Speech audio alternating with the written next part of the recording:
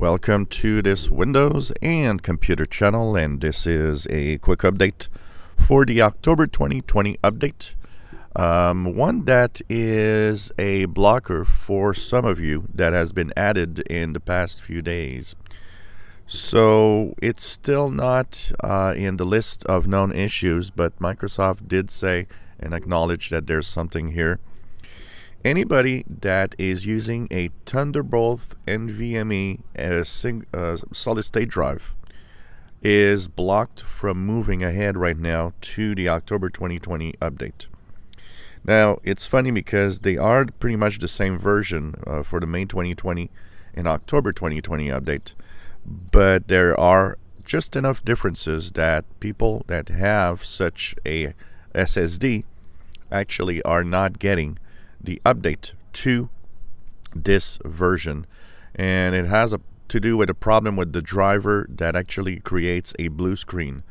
So some of you might actually not see the update uh, due to that uh, blocker.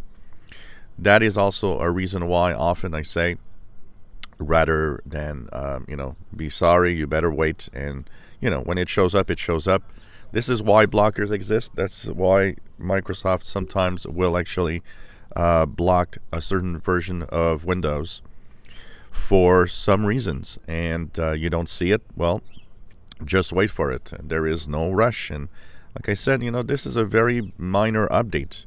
So there's not that much, um, you know, uh, of, of features that that many features that are worth, you know, uh, upgrading from force and risking to have some of the problems possibly.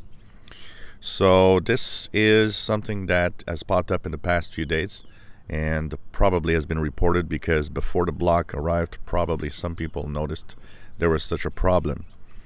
Now, if you forced upgrade to that version and have blue screen problems with uh, that that that version, um, well, ask yourself, do you have one of those? It's it's probably affecting a very small number of people because uh, Thunderbolt NVMe SSDs are not that common in general. So most people will be okay.